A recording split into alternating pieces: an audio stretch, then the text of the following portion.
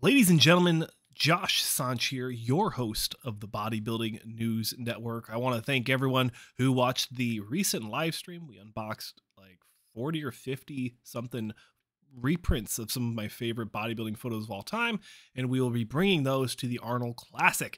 So thank you for everyone. But in this video, we're going to be talking about none other, none other than 212 top 11 Olympia competitor Ping Yun Long and his decision to move from 212 after placing 11th, like I said, to the men's open bodybuilding division.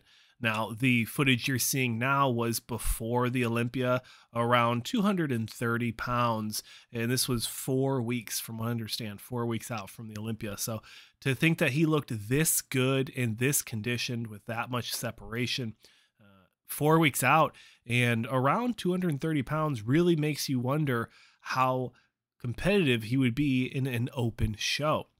Now, this is a China native gentleman, a competitor out of the uh, eastern side of China, and uh, he won the Thailand Pro in his 212. I believe it was his debut. Correct me if I'm wrong, of course, ladies and gentlemen.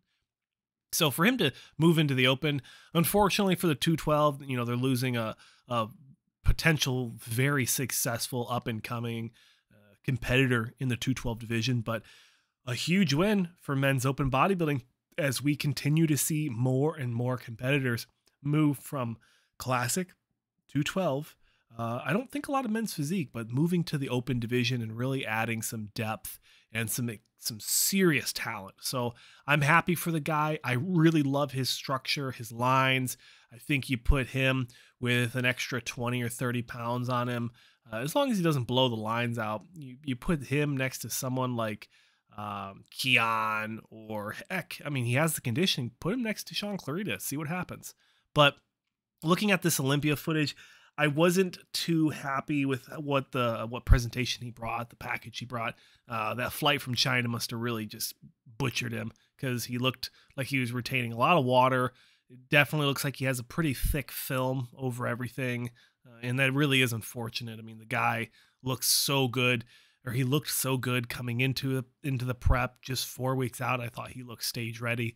Uh, so for him to have to you know, one suck down to the 212, you know, an extra 15 plus pounds, it's going to do it. It's going to, it's going to hurt the physique. You could overly fatigue the body uh, and it could ruin those beautiful, beautiful lines. So a lot of things could have happened, but I'm really happy to see him move to the open. Another guy that is moving to the open and has already done an open show, he, he did not place very well. I think it was the Texas Pro, is uh, hostile athlete Nathan Epler. Now, this guy, super cool dude. I was able to briefly talk with him at the Olympia.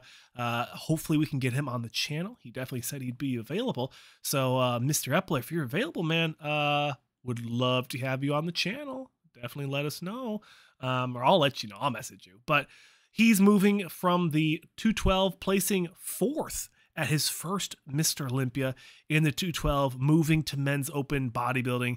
I mean, this dude is so, he's going to be so deadly in the men's open.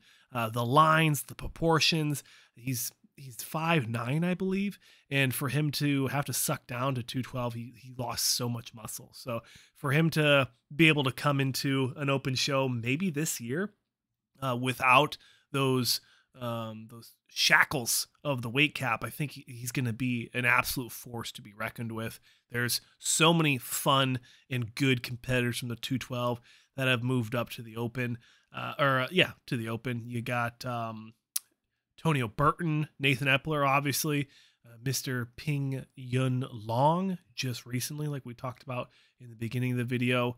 Uh, and then you have people like uh, Angel Calderon, who's competed in the Open. Kamal's done the Open. Shaun Clarida might be doing the Open at the Arnold Classic. So, love the 212 division. Really excited to see where the 212 division goes in 2023. But, ladies and gentlemen, let me know your thoughts on the 212 moving into Open. If there's any other athletes that you want to have featured on the Bodybuilding News Network, definitely let me know. But I'm your host, Josh Saunch. As always, thanks for watching. Like, comment, subscribe, and I'll see you in another one.